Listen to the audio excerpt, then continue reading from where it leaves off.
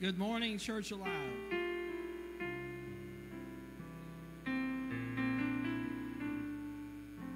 Good to have you with us today.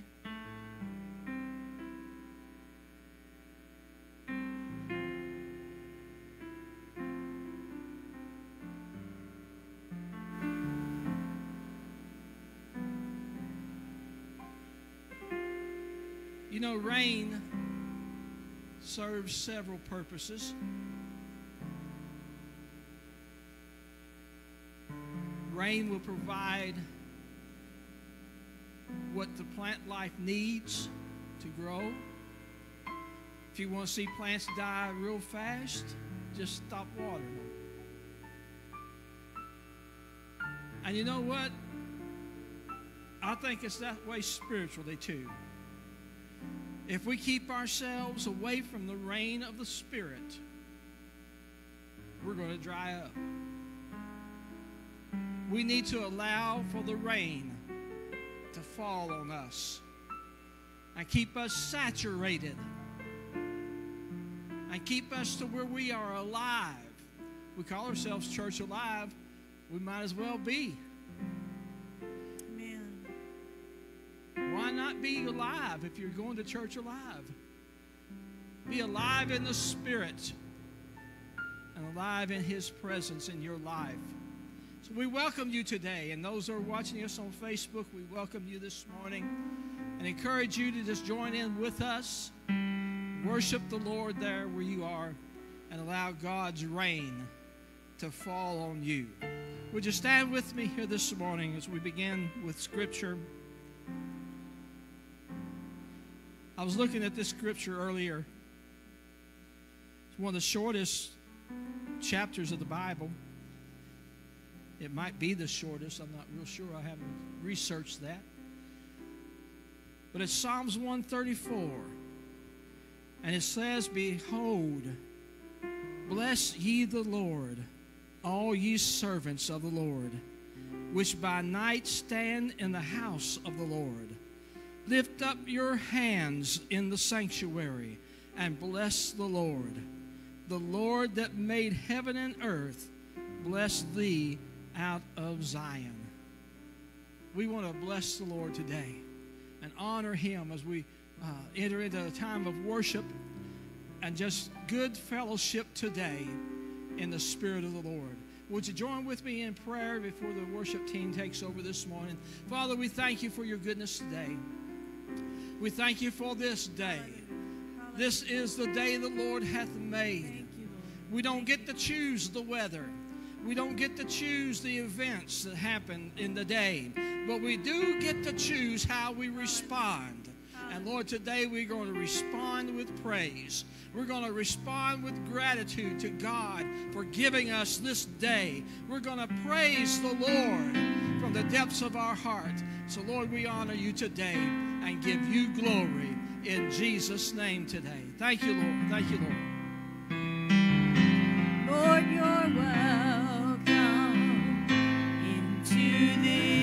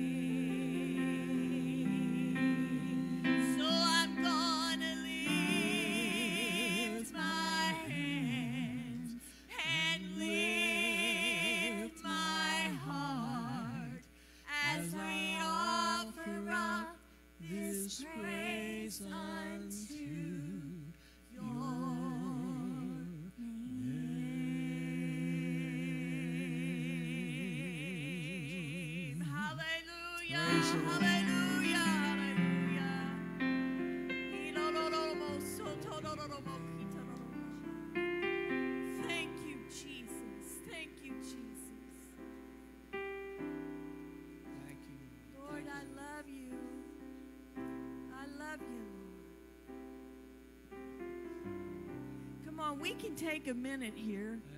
We got all day long. Thank you, Jesus. Thank you, Jesus. Can we just love on the Lord for a few minutes? Can we just thank Him? Can we just praise Him today?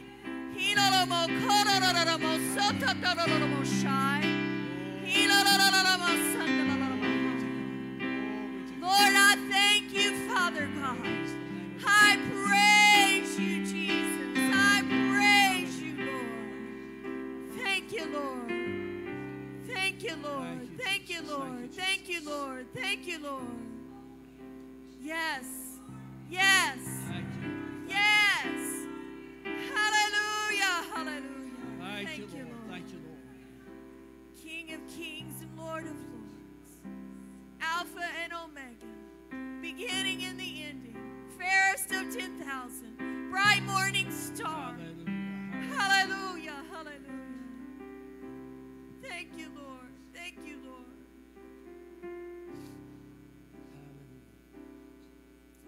Hallelujah. Tomorrow, September the 12th, is a special day for us. David will be 58 years old tomorrow.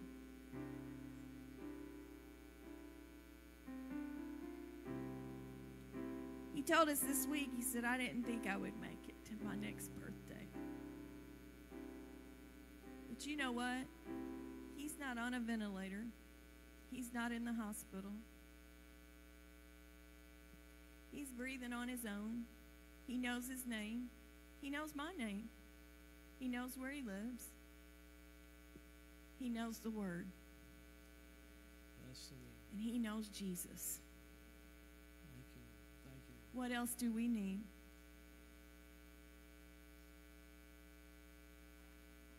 Thank you, God. Thank you. Thank you, Lord. Thank you, God. Hallelujah. Hallelujah. Lord, I thank you.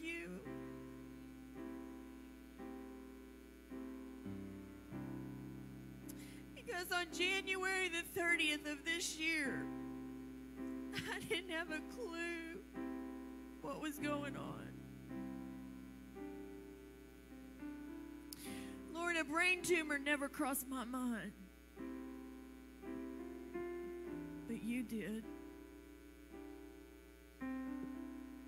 God, you knew exactly where he was going to be at that moment in time. And God, all of the nuggets that we've prayed for, you've supplied every one of them. Every one of them. And God, I thank you. I praise you, Jesus. I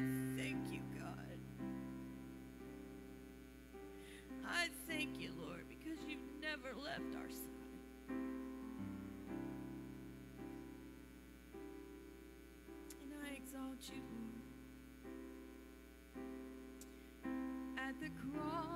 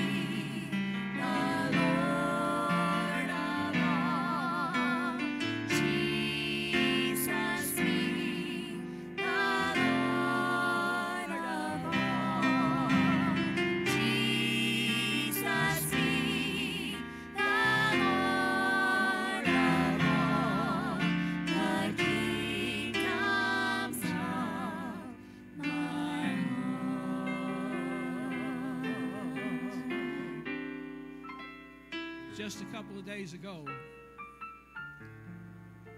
the world saw the passing of the Queen of England,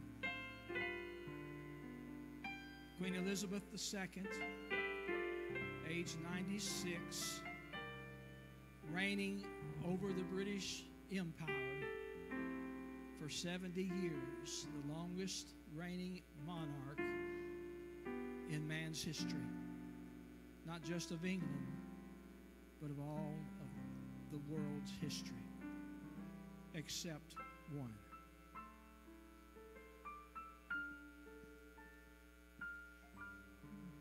They forgot one. And he still reigns. He still reigns today. And he will reign tomorrow and next week and next year and through all eternity. The King of Kings and the Lord of Lords will continue to reign. Does he reign in your heart today? Praise the Lord. I'm glad because I know Jesus Christ as my personal Savior. And I think I'm more glad that he knows me.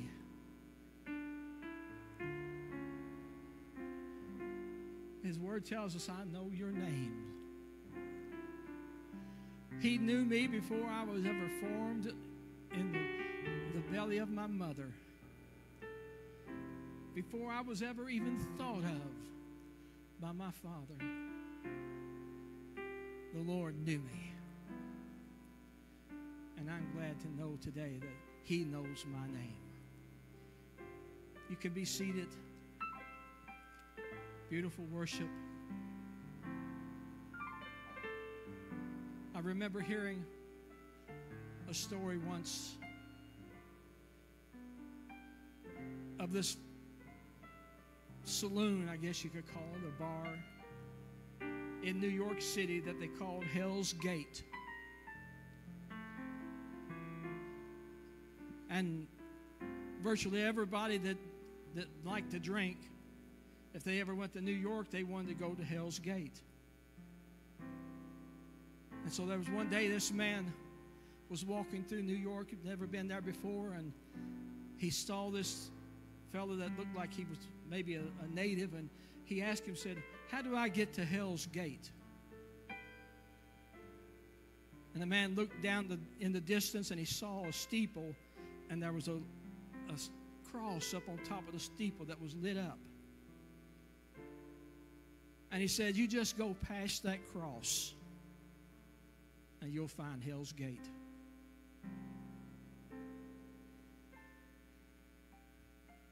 It's at the cross. That's where it begins. It didn't end there.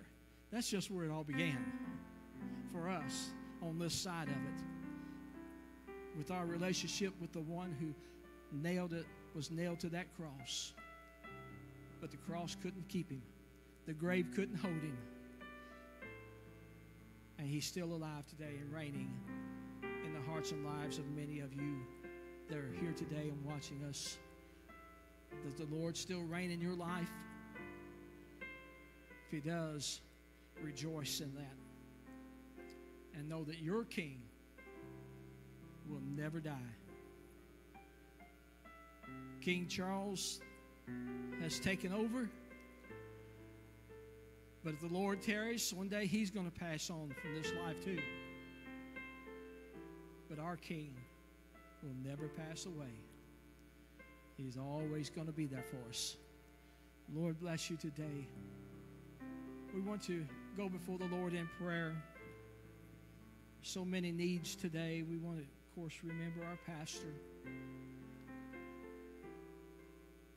He's having some good days and some not so good days. But I have those, and I don't have anything really physically wrong with me. Some of that's just age. I'm not trying to make light of, of Pastor David's situation, not in any way.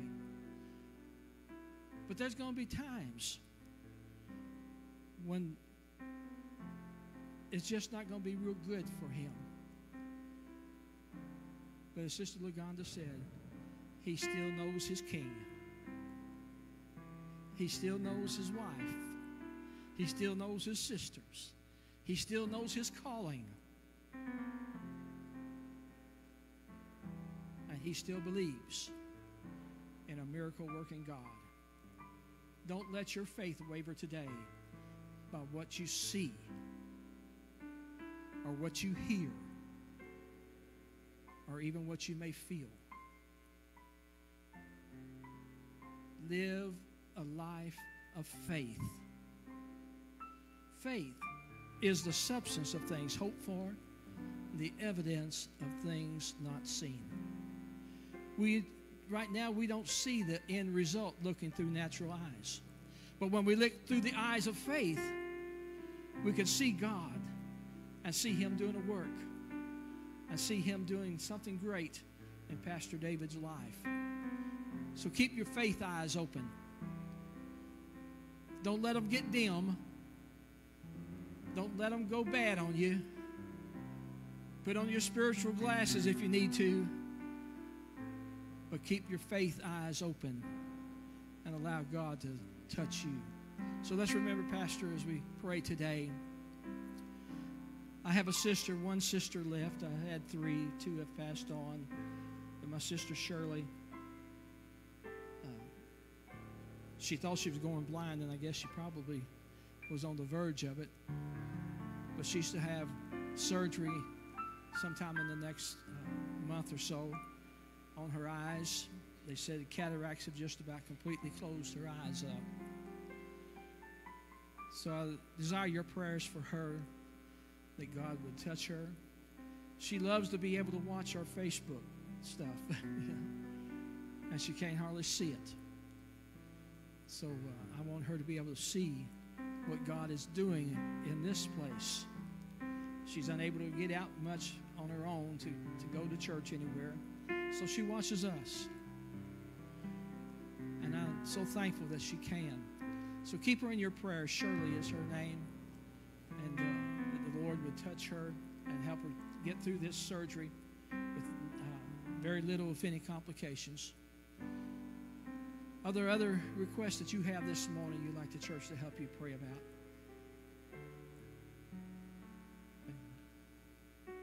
I'm sorry. Sue. Let's remember Sue today. You may have an unspoken request. You might just want to lift your hand. God sees that, Sister Sherry. Jackie, okay. God knows these needs today. Remember mom today. Yeah, Sister Webb. Let's remember her. I've known Brother and Sister Webb, I guess, 60 years at least.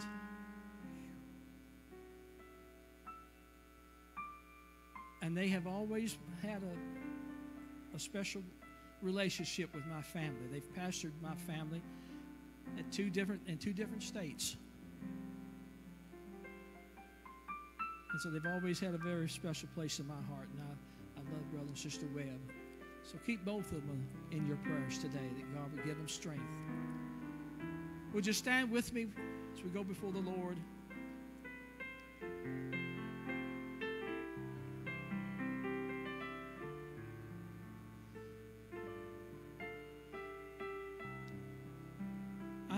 Misunderstands what I'm about to say. And I hope I don't hurt anybody's feelings. But if you don't believe that God can answer prayer, would you just sit back down? If you don't believe, there's no need in you praying. But I believe God today. I believe God still heals. God still performs miracles. God can deal with the small stuff and He can deal with the big stuff. Well, you see, there's no difference in His eyes. He cares about you today, He cares about what you're facing in your life. There may be something going on that nobody else knows about but you, but God does. And He's there to help you if you'll just surrender it to Him. Join with me in prayer this morning. Father, we come into your presence now. We thank you, God, for your love and mercy. I thank you, Lord, because I know that you answer prayer. I am an eyewitness to the hand of God moving in the lives of people. As I've witnessed in my lifetime, people who were going deaf have their hearing restored to them. People who were going blind having their sight restored to them. People who were suffering from various types of diseases and ailments being healed by the hand of God. I've seen it, Lord. And I know that you are still the same God today that you were back then. You still deal in the affairs of man. You still care about the needs of your people. Lord, we bring these requests before you today, making our petitions known unto you. Not that we're informing you of anything that you don't already know, but we're laying them at your feet, Lord, and leaving them in your care, and knowing that your grace is sufficient for each one. Touch Pastor David today, Lord, with a special healing that he hasn't felt yet through this whole situation. Let him feel something today that's a brand new feeling for him. Touch Sister Webb, Lord, today. Strengthen her in body and in mind today. Lord, let her feel your touch upon her life. And Brother Webb, I pray for Shirley today, Lord, for Jackie, for Sue. Touch these, Lord, today that need a special touch from you. Do the work, Lord, that only you can do. And you will be the only one that we give the praise and glory to. So to God be the glory. In Jesus' name we pray. Thank you, Lord. Thank you, Lord. Thank you, Lord. You may be seated. We'll ask our ushers to come wait upon you for your offering today.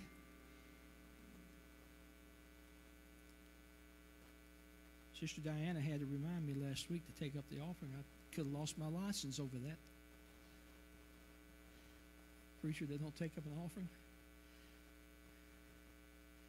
So today we want to make sure we get this right. God is so good to us, isn't He? Has He blessed you? I'm not going to ask you to lift your hand if you don't have more today than you had 10 years ago. I don't want you raising your hand. We want to pray for you that you'll get more. But God has blessed us, and I'm so thankful for His blessings on my life. Pastor Doug, I'm just ask the Lord's blessing on each one today as they give to me. Would you pray? Thank you, Lord.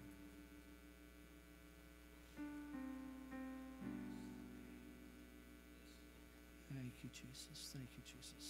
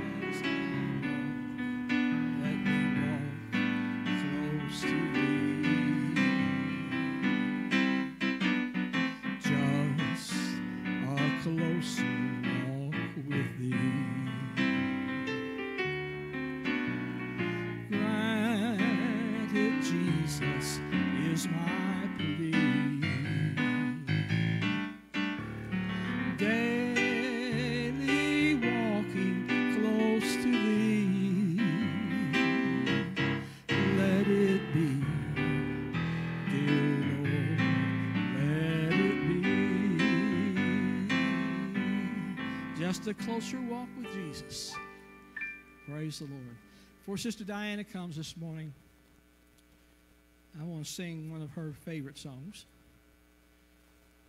Go along with what she's been ministering to us last week and today. So worship the Lord with me this morning.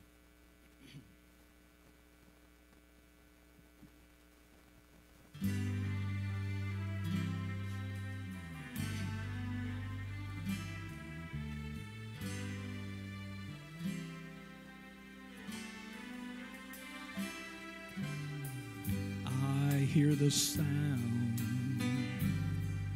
of a mighty rushing wind.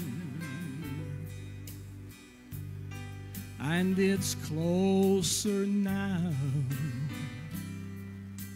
than it's ever been.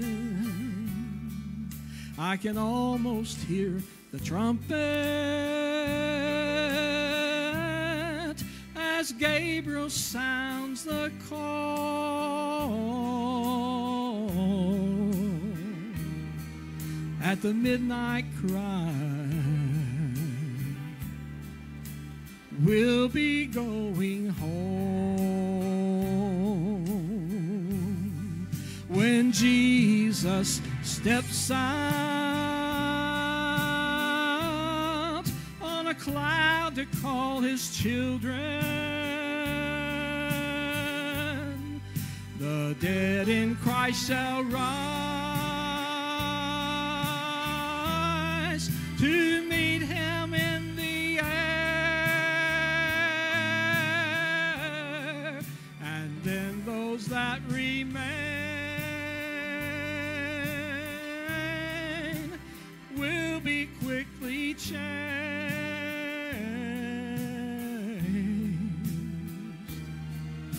at the midnight cry when Jesus comes again. He's coming soon, folks. Better get ready if you're not already. I look around me. I see prophecies fulfilling and signs of the time. They're appearing everywhere. I can almost hear the Father as He says, Son, go get your children. And at the midnight cry, bride of Christ will rise when Jesus steps out on a cloud to call his children. The dead in Christ shall rise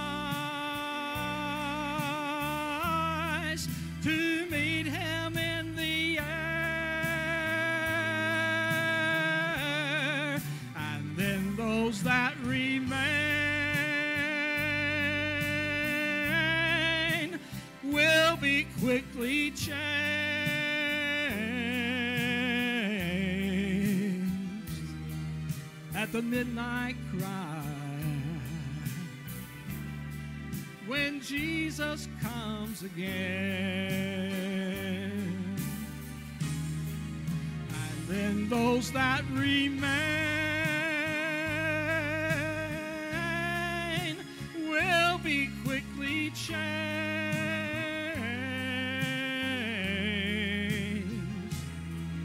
at the midnight Jesus comes again.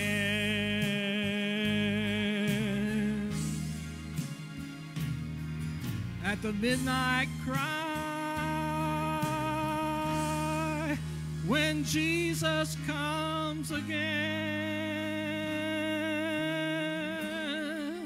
When Jesus comes again. Praise the Lord, Sister Diana.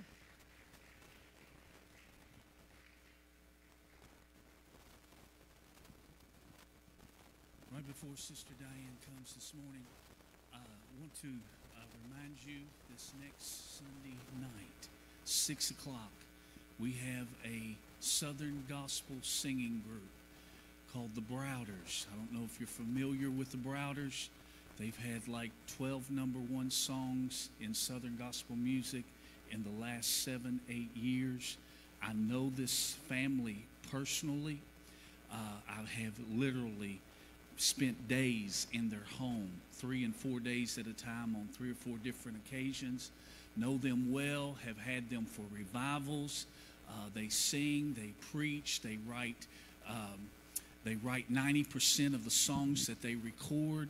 Uh, a phenomenal, phenomenal group. If you don't know them, just YouTube them. They're at the National Quartet Convention just about every year, singing on stage. Um, phenomenal group. Sister Lagonda, I, I, know them well. I'm real good friends uh, with uh, Tommy Browder's oldest son. And just to tell you something real quickly about the group, Brother Tommy has been the father. He's got two sons, uh, daughter in law. They all play. Uh, daughter in law plays keyboard, sons play bass and guitar, and Brother Tommy plays guitar. Tommy Browder um, got polio in his 30s, was put in a wheelchair, He's been in a wheelchair for the last 15, 20 years. Um, phenomenal, phenomenal songwriter, guitar player. Um, been in Southern Gospel for years. Had two boys, Matt and and um, David. I had them back when I pastored Mount Washington for the first time, probably around 1998, 1999. I, have known them before, uh, known this family before his boys even got married. Now both his boys are married. He's got four or five grandchildren, but phenomenal, phenomenal people. And they will not, there's country as country can be. They're out of Kingsport, Tennessee. They not only will just come and sing, uh, Matt more than likely is going to preach a little bit next Sunday night, and uh, they're going to sing. Uh, just they are phenomenal people. They're not here to perform. They're here to flow with the Spirit of God. And I just want to encourage you. I know it's on a Sunday night. I know uh, uh, a lot of our congregation, it's hard for you to get out uh, for an evening service, but if, if we got to get you a ride home, please get here next Sunday night. It is going to be a great service. We're trying to advertise this on radio. Uh, I'm calling everybody I know, trying to get them here, and, and um, uh, some pastoral friends and different ones. This is a phenomenal group. They're very hard to get, and they're very gifted, very anointed, and they will flow with the Spirit. To tell you uh, one last thing, we had them uh, for a revival when I was pastoring in Bardstown. Had them for two different revivals, um, but one revival in particular, we had them. Had a phenomenal meeting, averaged like 180 in attendance every service that week. Uh, got to the last night of the revival and had been a couple people saved during the meeting and one young man he was a teenage boy wanted to be baptized in water we filled up the baptistry to, to be baptized for him to be baptized only individual being baptized that night in water and got in the service and the spirit of god began to flow and matt's wife sonia who plays keyboard um, she'd only been baptized one time in her life as a child. And she was at the keyboards. And when it came time, it was at the end of the service to be baptized in water. The Spirit of the Lord spoke to her, and she spoke from the keyboard. She said, I just heard the Spirit say, Get in the water. And she said, I don't have a change of clothes. I don't have a towel. I don't have anything. But I'm going to obey God. And she went and got in the baptismal pool when I baptized her, and the Spirit of God fell in that place. We didn't get out till 11 o'clock that night. 36 people were baptized in water. Only one came with a change of clothes, only one came with a towel. We were scrambling going to neighbors' houses just to get towels so people could dry dry off. I was baptized in men and women in their jewelry and all. It was it was one of the most incredible services I've ever participated in my life. just a phenomenal meeting. But that's the type of people they are. They just love the Lord. Country as country can be, uh, as loving as any family you'll ever meet. And I grew up on Southern gospel music. I grew up, uh, my mama and my father, that's all they had around the house. From the inspirations to the Kingsmen to the Happy Goodmans to, to the Hinsons to, to, to the Oak Ridge Boys, uh, um, anybody that sung Southern gospel music, they, they, I, I grew up on Southern gospel music, and, and this group, uh, they, they do a lot of Southern gospel, but they'll also do some contemporary modern worship. And uh, my little boy's got a song he loves called Waymaker, and uh, they do that song, and, and I'm going to try and get them to do it next week. But phenomenal, phenomenal people. So I just want to challenge you. They're not easy to get. We Lagonda asked me, Sister Lagonda asked me if I could get them. I called Matt. He said, "Man," he said, "You're not going to believe this." He said, "I'm supposed to be in Western Kentucky on Saturday night, the 17th. Going to be in Dayton, or, or Sunday morning, the 18th. Supposed to be in Dayton, Ohio, uh, Monday night, and we had nowhere booked for Sunday night. And he said, we, we're, coming right your way, heading north. And he said, if you can schedule us for Sunday night, he said, otherwise we are booked out for the year and booked well into next year. So we know this is short notice. Uh, they do this full time. They don't work jobs. They do full time ministry, uh, full time. And not just singing engagements, they are preaching a ton of. And so I just want to encourage you come out, invite people. You know people that love Southern gospel music, get them here. It's going to be live music, uh, and, and you're going to be blessed. I promise you, you will be blessed. It's going to be a phenomenal service next Sunday night. Sister Diana, come on. Hallelujah. Hallelujah.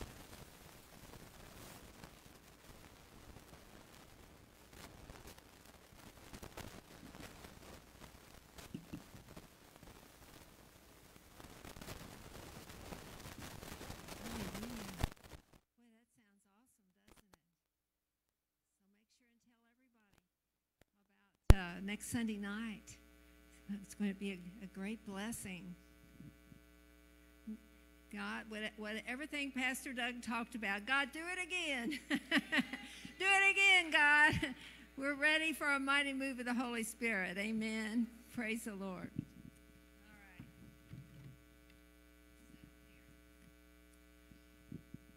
Well, it's, it's great to be with you today. And um, lots is going on in the world. And I'm just so glad that we can all get together again as a church, that we're not cooped up in our homes, that we can get out and come together in fellowship and worship God. And there's just something about coming together in the house of the Lord. It's, it's another level than trying to watch it at home on Facebook. We thank God for that ministry, and we understand that's the only way some people can get the Word of God, and we pray God will bless them mightily. But it's good for us who are here together in the house of the Lord. And uh, we just want to say one more time if you're listening, Pastor David, happy birthday. Happy birthday. I hope you can hear people clapping. we hope you have a phenomenal birthday and a phenomenal year. And okay, I'm going to get on with the Word of God. And Jesus is coming. He's coming. He's coming. We're just sojourners in a foreign land. We're citizens of another country. We're not satisfied here because this isn't our home. Our home's on the other side. It's waiting for us. Boy, that home is really something. First of all, Jesus is there. That's the best part. Jesus and, and the Father and the presence of the Lord and all of our loved ones who have gone on before us and friends. It's going to be here soon, folks. It's not going to be long.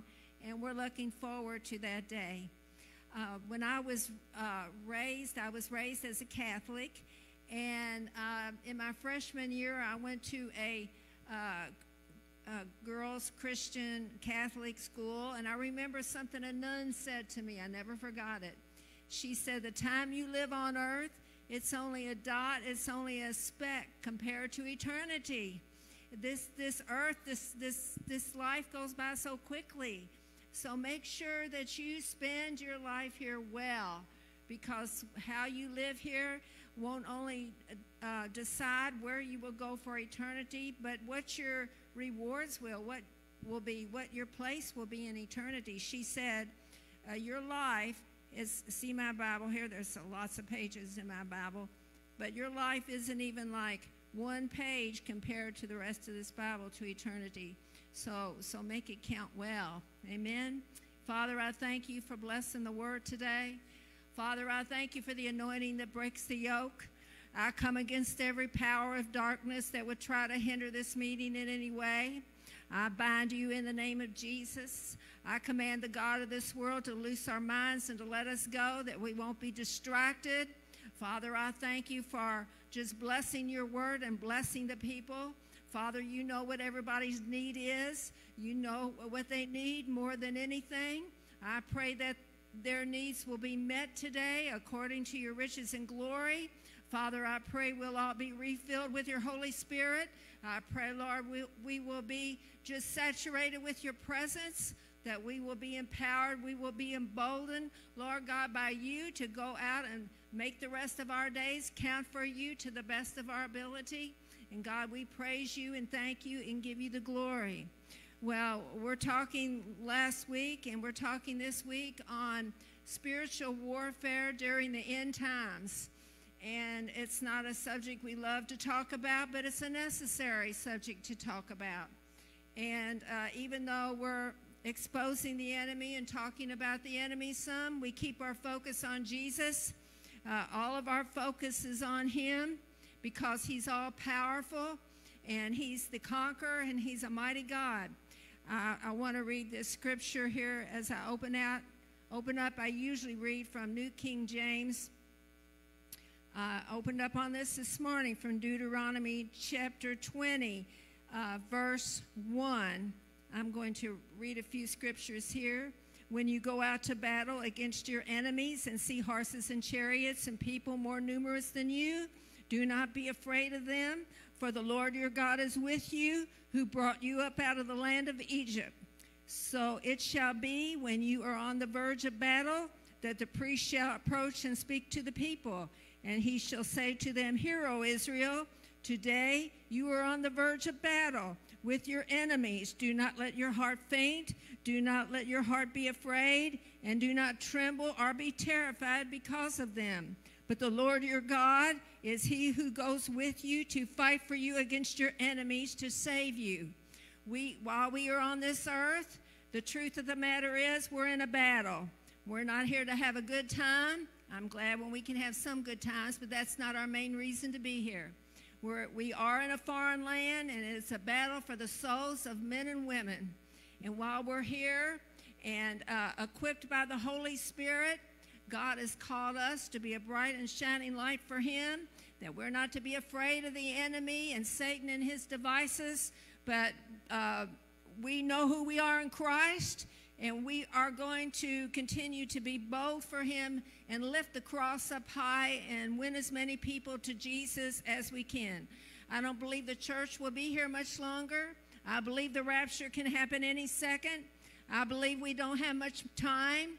And we're not just sitting here twiddling our thumbs, trying to hang on by a thread until the trumpet sounds. Uh uh.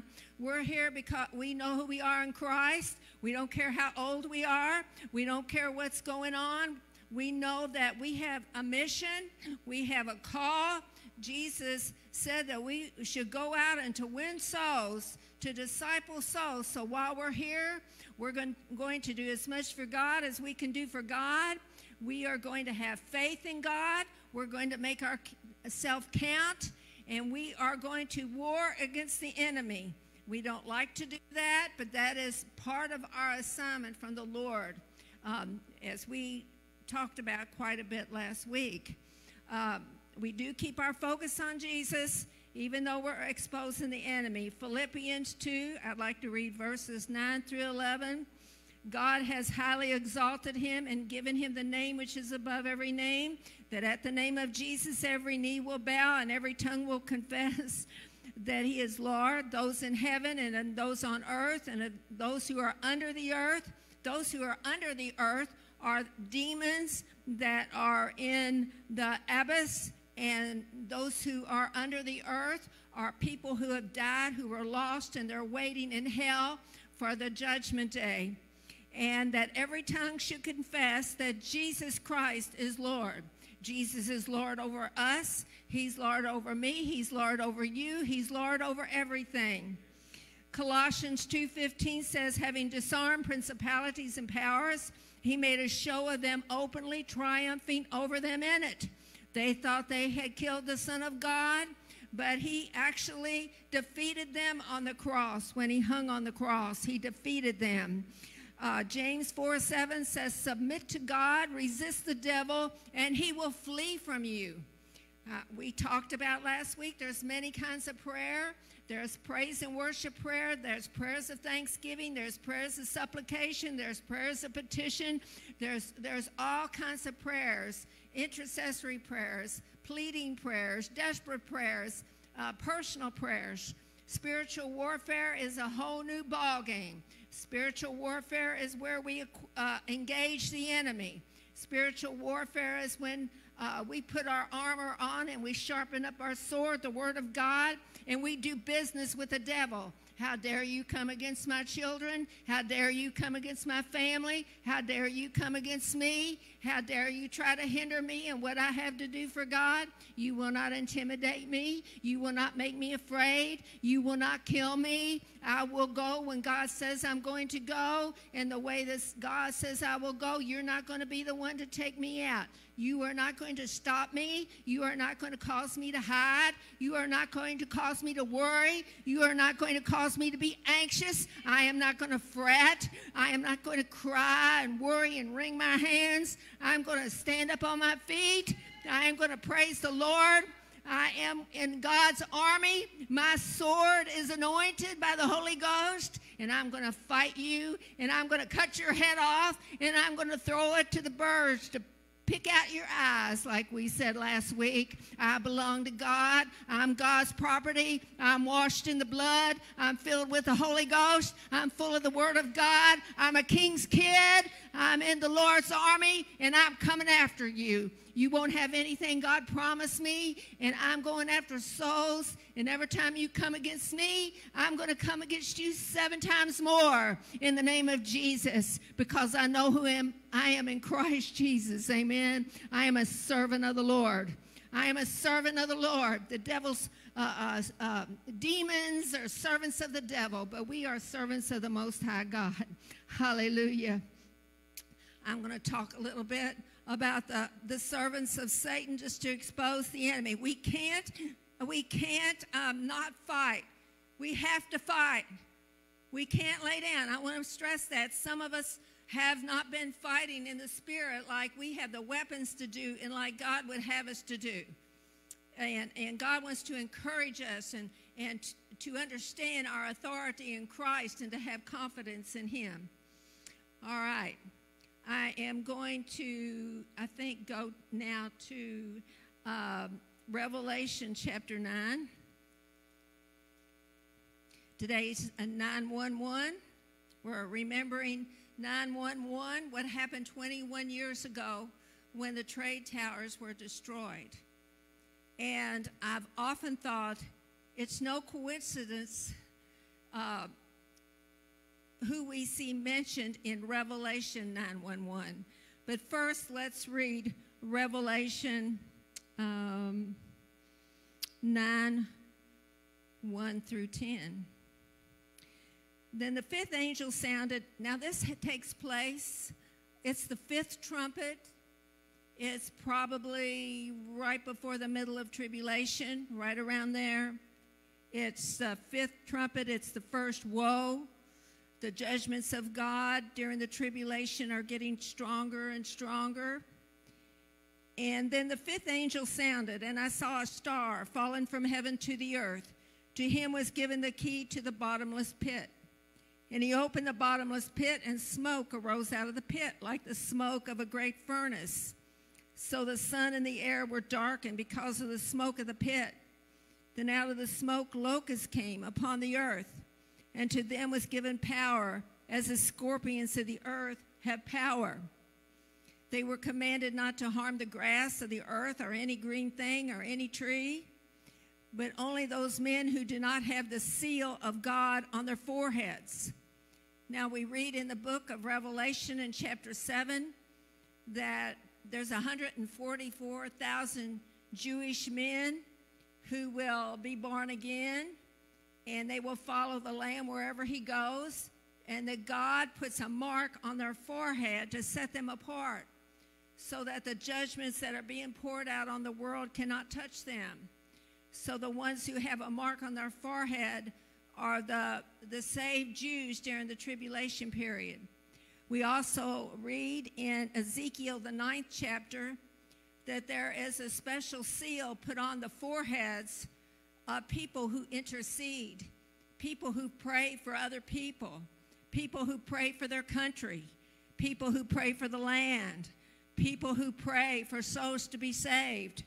So there's obviously a, a uh, seal put on the forehead of born again Jews and I am sure Christian people who are born again during the tribulation.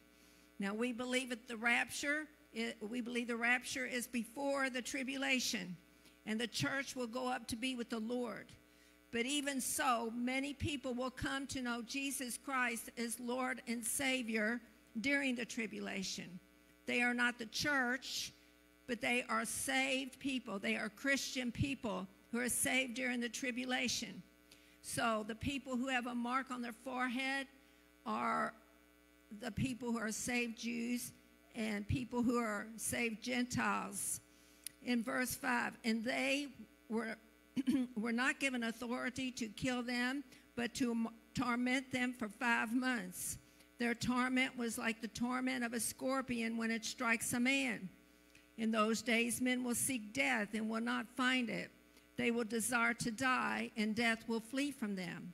The shape of the locust was like horses prepared for battle, and their heads were crowns with something like gold, and their faces were like the faces of men. They had hair like women's hair, and their teeth were like lions' teeth. These are special demons, wicked, terrible demons that have been reserved in the abyss of hell until this time. They are horrendous creatures, uh, able to inflict unbelievable torment and pain on people. Verse 9, and they had breastplates like breastplates of iron, and the sound of their wings was like the sound of chariots with many horses running into battle. And they had tails like scorpions, and there were stings in their tails, and their power was to hurt men five months. Now, in verse 11, I know that the Bible wasn't divided into chapters and verses until the late 1500s. Before then, it all just ran together until somebody separated it all into chapters and verses. But here it's, it is interesting to me that in Revelation 9 1 1, it says, And they had a king over them, the angel of the bottomless pit, whose name in Hebrew is Abaddon, but in Greek he has the name Apollyon. One woe is past, behold, still more woes are coming after these things. Now, I know we're not in tribulation yet, but we're sure seeing uh, shadows of tribulation. Demon powers are at work, and I believe every day more demon powers are being loosed on this world. Demons are, like I said, in the abyss, and there are demons all about this earth roaming around, servants of uh, Satan. And there are many demons in the atmosphere, in the second heaven. You know, the Bible says that Satan is the prince and the power of the air. So we're dealing with demons in the atmosphere, we're dealing with demons on the earth, and there's demons under the earth that are being loosed continually out of the abyss because the powers of wickedness will increase more and more in the last days. Like we said last week, there's preachers preaching that we're going to get this world perfect or really good, and then Jesus will come back. It's just not scriptural. Would to be it were that way, but the Bible's clear. Uh, people have rejected the gospel, they have rejected Jesus for the most part. This world is growing more and more wicked, it isn't getting better. But bless God, He has a remnant. God always has a remnant. We're privileged to be the end time remnant, created for this time and this hour to do exploits for God. It's not an easy time to be here, but God thought we could handle it, Pastor Doug. God thought we could handle it, Pastor Kenny. He knew we could handle it. He put us here for this time and for this season. So we know that the king of hell, his name means destroyer. And it was the destroyer that was behind what happened to the trade towers. It was the destroyer and is the destroyer who is behind everything bad that happens in the world today or tries to happen in your life. So, this is who we're up against. Now, these demons operate in other places too. They're operating on the earth eh, through many of the places that, that are obvious. They're, they're operating in the educational system in our universities and colleges, twisting the minds of our young people, corrupting their minds. Many of them go in these colleges and universities today and come out not believing in Christ with, with a mindset for the one world government and, and they're just twisted in their thinking. You have young people in the educational system. You better know spiritual warfare. You better know how to claim the power of the blood over your children and your grandchildren. You better know how to engage the enemy and not only handle the spiritual warfare part, but do what you can to influence them for Christ. These, these demonic spirits are certainly in the political system, they're in our government. They're in every phase of our life. They're in the media for sure. They're corrupting the minds and the hearts and the spirits of people through the what they watch on the internet. Internet. There are many Christians who are sitting in their homes. They're, they're pulling up things on YouTube and other places, and they're entertaining devils, is what they're doing. They think that, that nobody knows what they're seeing and nobody knows what they're doing. Uh, we know pastor, we know a pastor who is over many of the churches in a certain state. I won't name. He's over over 60 uh, something churches in another state. He says the main problem with uh, charismatic, spirit filled pastors that they oversee is pornography. Pornography has uh, infected the churches, demons are at work in the churches. And if we uh, do not stay focused and we don't stay close to God and we are not careful, they will slip in through a window through, from the internet, from some other source, from the media, from what they watch on TV, what they listen to, what they entertain. And first thing you know, there's demons and devils living in your house. And I, there's been times the Lord has reminded me, you be careful you don't entertain demons in your house. You be careful, you keep every door shut. Yes, you're a spirit filled Christian and you know the word, but if you don't guard your home, if you don't guard your home and your house, they're just looking for a window to get in and corrupt and defile you. And you don't want to mess with that. You don't want to entertain with that because when once they get in, it goes past the entertainment stage and they will begin to afflict you and torment you and do all kinds of things to you to try to destroy you because the name of their leader is destroyer. John 10 10 says, A thief comes to rob, to kill, destroy, but Jesus came to give us life and to give it to us abundantly. The Satan is a destroyer uh, about uh, demons being in the church. People say, How can that happen? Well, just look at Revelation chapter 2, verses 18 through 23. Jesus rebuked the church of Thyatira. Uh, I'm looking at Pastor Sadler because he really knows the book of Revelation, and I better get it right or he's going to get me. But Jesus re- rebuked the church of, he rebuked the church of Thyatira. He says, You allow that woman Jezebel in your church. You allow her. She's a false prophetess. She teaches people that it's all right to commit immorality. I've given her space to repent. She has not repented. If she will not repent, I'm going to throw her and her children in a sick bed and they're going to die. Her children are the people who are, are her disciples, not necessarily her physical children. That the church had let uh, a demon possessed woman who knew church talk, who knew, knew how to handle herself in church ways, and the people were impressed by her prophecies, impressed by what seemed like the Spirit of God moving in her. She must have taught cheap grace because the cheap grace message says that if you are born again, if you have trusted Jesus Christ as your Savior, you're, you're, uh, you're going to heaven no matter what you do. You're going to heaven no matter what. That's false. That's heresy. That's a lie out of the pit of hell. You cannot live any way you want to live and think because you said the sinner's prayer one time that you're going to go to heaven. I believe if you've truly been born again, if you truly know Jesus Christ as your Lord and Savior, if you're tr- truly committed to Him, you're not going to want to do those things anyway.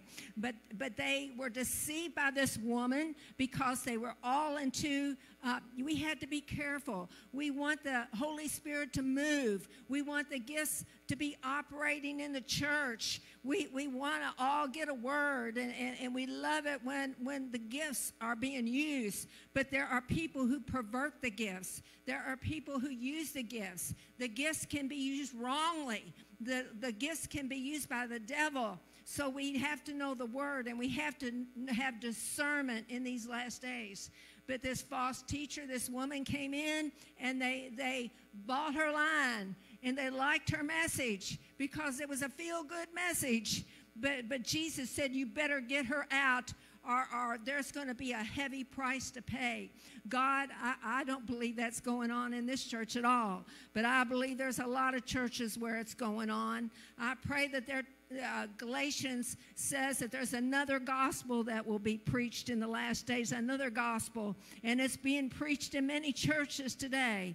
And we have to be careful. We have to know the Word of God and stay filled with the Holy Spirit. If a demon tries to get in your house, you take authority over it in the name of Jesus. If a demon comes into your family, don't just sit there and whine and cry and moan and the blues over it. Check your house. Get anything out of your house that would dishonor God. Check your heart. Check your spirit. Repent of anything you might need to repent of. Get your life right. Then you stand up against the enemy and say, I strike the blood of Jesus over my doorpost. I strike the blood of Jesus on the lintels of my house. I'm covered in the blood of Jesus. My house belongs to God. You're a trespasser. Get out of my house. You can't be in my house. My house belongs to God. I rebuke you in the name of Jesus, the name above every name, and kick the thing out of your house. Glory to God. Put on your praise and worship music and glorify God. Shout unto God with a voice of triumph. Shout unto God with a voice of praise. Shout unto God, I am a believer in Christ. I am more than a conqueror in Christ. Hallelujah. Hallelujah. Jude 3 4 says, Beloved, while I was very diligent to write to you concerning our common salvation, I found it necessary to write to you, exhorting you to contend earnestly for the faith which was once for all delivered to the saints. For certain men have crept in unnoticed, who long ago were marked out for this condemnation. Ungodly men who turn the grace of our God into lewdness and deny the only Lord God and our Lord Jesus Christ. Oh, that the church, there's only one hope for the United States to have a little longer and more people to be saved not necessarily to be rich and prosperous and the strongest nation in the world, but to be a Christian nation. And is that the church, uh, not talking about the unsaved, the church, that the people in the church will repent and get right with God, and that they'll be filled with the Holy Spirit of the living God, and they will be bold and courageous like the disciples were. the, the disciples were, were scaredy cats before they had the baptism of the Holy Spirit. They were afraid for anyone to know they were followers in Christ. They might be persecuted, they might have trouble for it. But once they were baptized in the Holy Spirit on the day of Pentecost, they didn't care who heard them. They didn't care what they might have to go through. They didn't care what they might have to face. They loved Jesus with all of their hearts. And when they were baptized with the Holy Spirit, they were bold witnesses. They turned whole cities upside down. They spread the gospel all over the world that they knew at that time. That's how we have to be today. I read, there's a, a, a pastor who's written a book, and his name is uh, Bert Farias, and he said, There is a place in God where Satan dare not stay. It is divine power. He will not stay there. In Mark, the first chapter, verses 23 to 24, we read about how Jesus went to the synagogue. He went to the synagogue, a place of worship, uh, uh, the holy place where people went to, to hear, the, hear the word of God and worship God. And it says there was a man there, and he was possessed by the devil. Now, until Jesus came, he did not manifest. He was in, the, in a synagogue, we'll say the church. He was in a synagogue. Uh, the demons did not manifest. Even though worship was going on, they didn't manifest. It says, they didn't they didn't manifest until Jesus and the power of the Holy Spirit came on the scene. It's, he said, Notice that the demon possessed man in the synagogue did not cry out with a loud voice until Jesus got there. Those people sang their songs, said their prayers, read their scriptures, and the devil enjoyed it all. But when the power of God came on the scene, suddenly the devil became upset.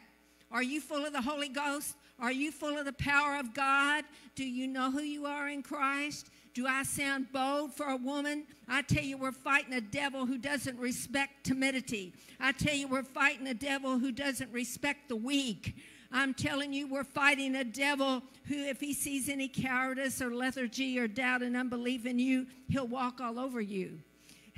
He says, Why? Because religious ceremony is no threat to him. We can hold regular church services and demon can sit right through it undisturbed. But when the glory and power of God is manifested and the Spirit of God is moving and divine love reigns, the devil can't st- stand it.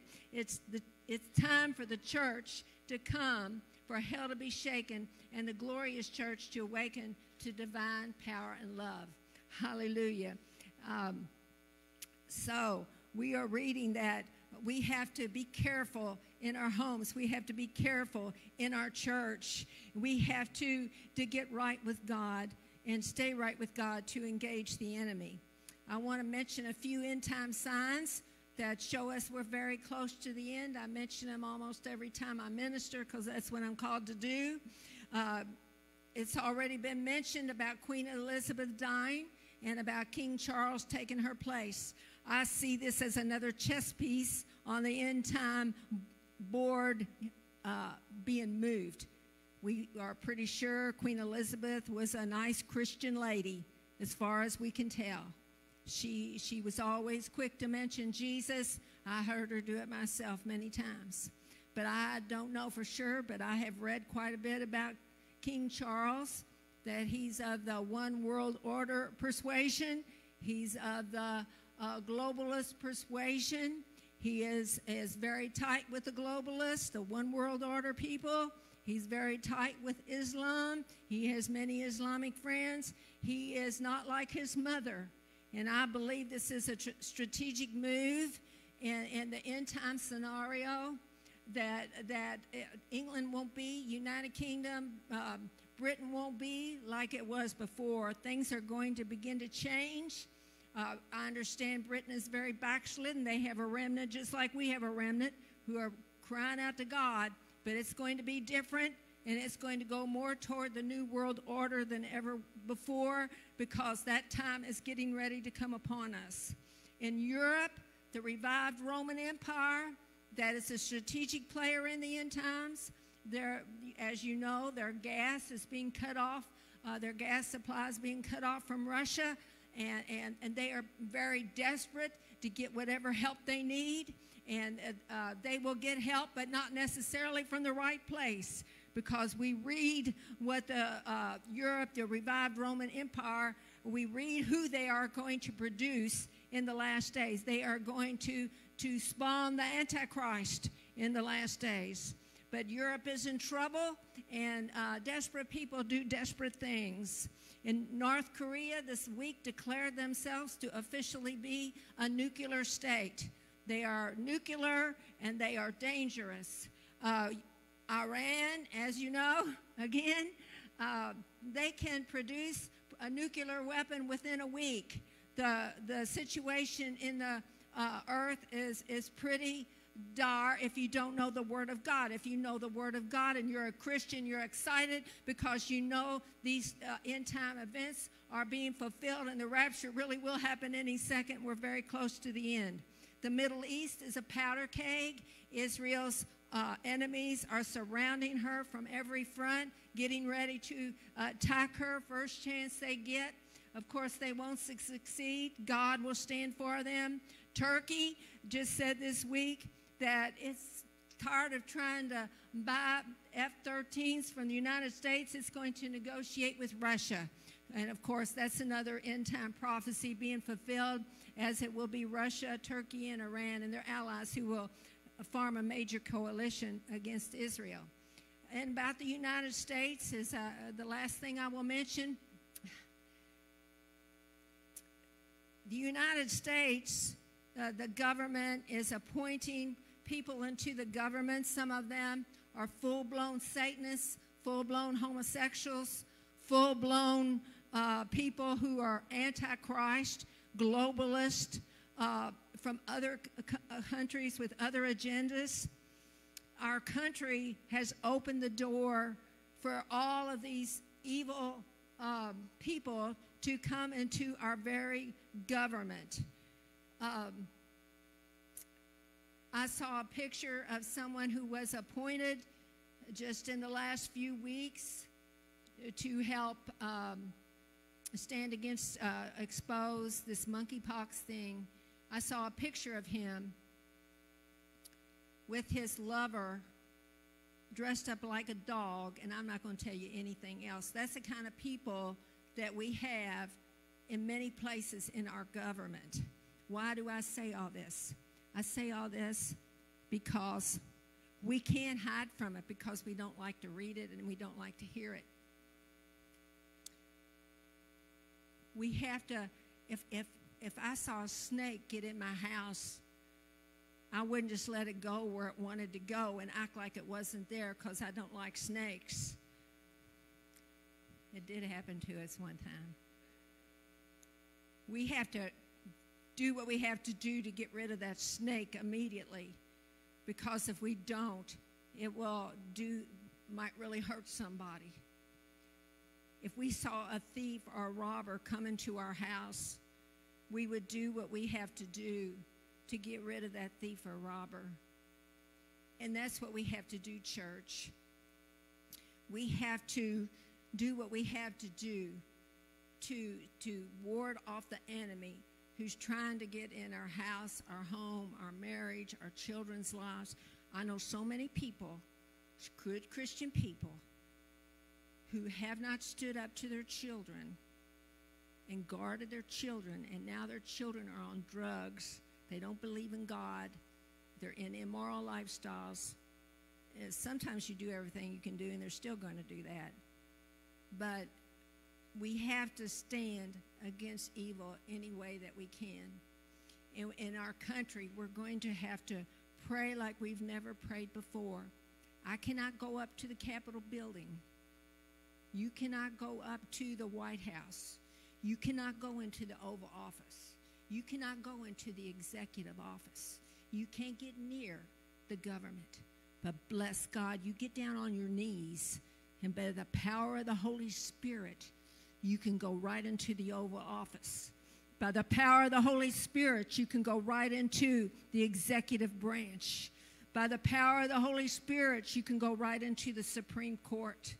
By the power of the Holy Spirit, you can go right into the Congress and, and the Senate and, and the House of Representatives, it is. By the power of the Holy Spirit, you can go into the universities and colleges. By the power of the Holy Spirit, you can go into all of these places that have been corrupted. By the power of the Holy Spirit, we can clean out the church. By the power of the Holy Spirit and the blood of the Lamb in the name of Jesus, we can do mighty warfare in the Spirit. God, God is calling us. God is calling us. This isn't a message people want to hear, but we have to hear it. We have to begin to pray earnestly, fervently, uh, over all of these matters. Get our lives in order, get our families in order, uh, uh, get the blood surrounding our home to protect us, and, and stand against the walls of the enemy. Amen. Hallelujah. Are you still with me? In Deuteronomy 28, there's a lot of blessings and curses listed. There's blessings for our country. It's talking about Israel but it can sure apply to any country. And um, it says the blessings are wonderful, you know, that God will bless you with if you serve the Lord. But it says if you don't serve the Lord, here's what you're opened up to. Now, listen to this what a country's opened up to if they don't serve the Lord. It says, Aliens among you will grow stronger and stronger, and you will grow weaker and weaker. Aliens will come into your country and take over. It says, Your sons and your daughters will go into captivity. Our sons and our daughters will go into captivity to the walls of the devil if, if our country is turning from God. It says, The plague will cling to you. The plague, does that ring any bells? It will cling to you, and you won't be able to get rid of it if you're somebody who has rejected God and His Word and His ways, if your country's rejected God, our country told God to get out, and these things are happening to our country.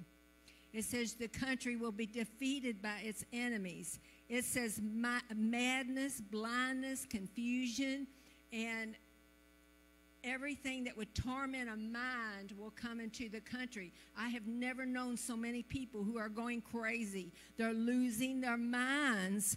They, they don't have room for them in the mental institutions. They try to help them on for, in an online program. People are going crazy out of their minds. And this is a curse that comes on a nation that rejects God it says, The Lord will bring a faraway nation against you with a fierce countenance, and they will destroy you. That's what the Word of God says. Well, we don't want our country to be destroyed while we're here. While the church is here, we're going to pray and stand for God and fight the enemy and do all we can to lift up Jesus Christ and see our families, our homes, our churches, and our country blessed because we're the people of God. We know that during the tribulation it's going to come down, but while the church is still here, we're going to give it our best shot, aren't we? We're not going to be defeated, but we're going to take our place in the Lord's army. We're all very familiar with uh, Second Chronicles 7 14. If my people who are called by my name will humble themselves and pray and seek my face, I will hear from heaven and heal their land talking about Israel, but it applies to us too. And now I want to uh, close by reading a passage from Joel chapter 2. And I would like to, um, if, if you feel like it, while I read this passage of Scripture and I'm concluding, if you feel like it, I would like for you to stand on your feet as I read this word from God, if you will. Joel chapter 2, beginning with verse 12. Now, therefore, says the Lord, turn to me with all of your heart, with fasting, with weeping, and with mourning. Rend your heart and not your garments. Return to the Lord your God, for he is gracious and merciful, slow to anger, and of great kindness, and he relents from doing harm. Who knows if he will turn and relent and leave a blessing behind him? A grain offering and a drink offering. Blow the trumpet in Zion. Consecrate a fast. Cause solemn assembly. Gather the people. Sanctify the congregation. Assemble the elders. Gather the children and nursing babes. Let the bridegroom go out from his chamber and the bride from her dressing room. Let the priest who minister to the Lord weep between the porch and the altar. Let them say, Spare your people, O Lord, and do not give your heritage to reproach, that the nations should rule over them. Why should they say among the peoples, Where is their God? Hallelujah. And while you're still standing, please close your eyes a minute, uh, just because we won't be distracted. Father, I thank you for your word. I thank you for the power of your word. I thank you that you are the hope of your people. I thank you that you'll never forsake your people. I thank you for the precious blood that was shed on the cross to redeem us. The precious blood that washes away our sins and makes us white in your sight. I thank you for your love, your unconditional love. Uh, Lord, I thank you, Lord, that your love is being poured out now. You don't want anybody lost. You don't want anybody to miss eternity. You don't want anybody to go through these things. You're sending out a voice now saying, Come unto me, all you who are heavy laden, and I will give you rest. I thank you, Lord, that your arms of mercy are stretched out wide, that there's no sin so bad that you cannot forgive it. Lord, I thank you, Lord God. I thank you that today, Lord God, that your spirit is going out in the church and across the world saying, now is the time. Today is the day of salvation. Today is the day to be uh, have your name written in the Lamb's book of life. Today is the day to be set free from curses and, and, and, the, and the devil's rights to attack you. Today is the day to be set free by the power of the Lord. Thank you, Jesus.